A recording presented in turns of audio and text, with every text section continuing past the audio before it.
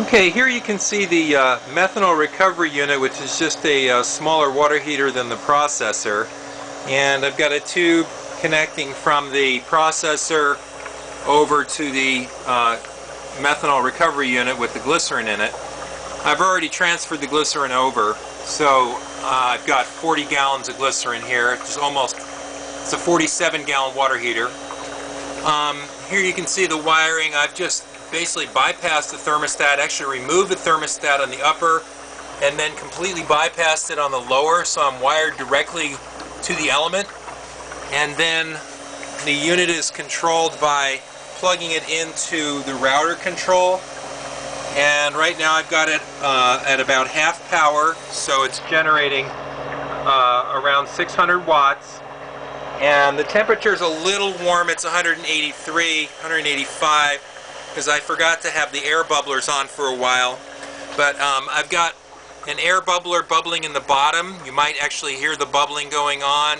That's a check valve, a one-way check valve, bubbling the air in through an aquarium bubbler.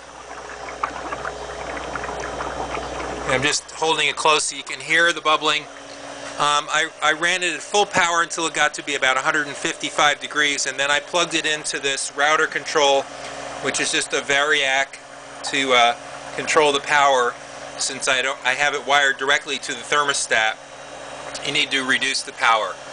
And there's my bubbler. I got the most powerful one I could get from the fish store. I'm also blowing some air in through the top.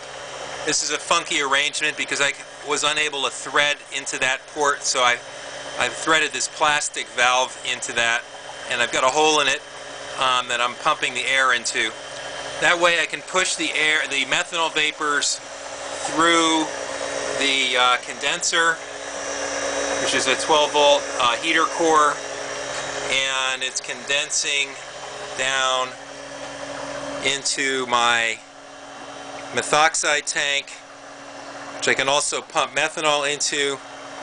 Um, right now I've just got recovered methanol in it.